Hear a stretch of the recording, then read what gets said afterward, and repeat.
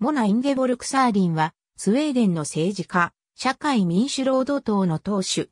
モナ・サーリンとミドルネームを除いたフルネームで呼ばれることが多い。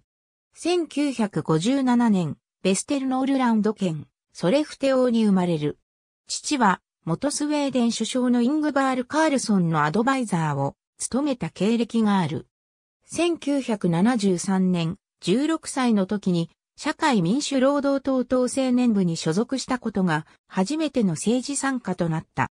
1982年の総選挙で初当選し、25歳でリクスダーゲンで最年少の議員となり、1990年には労働大臣に就任する。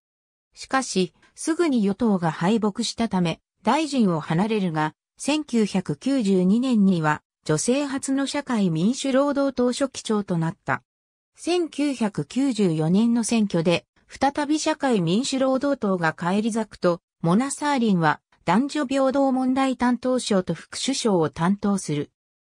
1995年にスキャンダルで辞職し、1996年から1997年にかけてテレビリポーターとして活躍したり、会社を経営していたが、1998年にヨーラン・ペーションが首相になると、彼女は無認証大臣に任命され、産業大臣などを担当し、2002年には民主政治担当大臣に任じられる。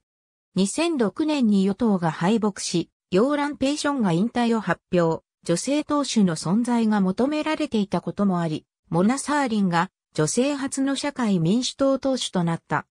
2010年の総選挙では、野党連合を率いて、与党穏健党率いる連合と争うも、敗北し、女性初のスウェーデン首相とはならなかった。ありがとうございます。